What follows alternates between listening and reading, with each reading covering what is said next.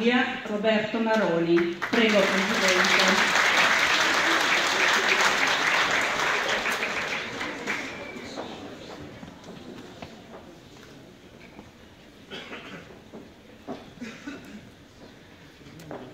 Caro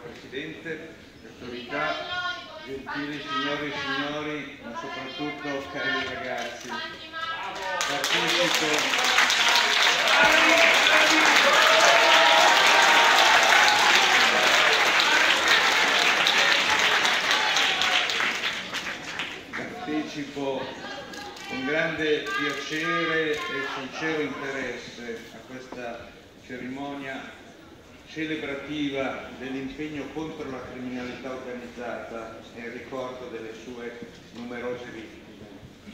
E lo dico da chi, ex ministro dell'interno, la lotta contro la mafia l'ha fatta con i fatti e non con le chiacchiere.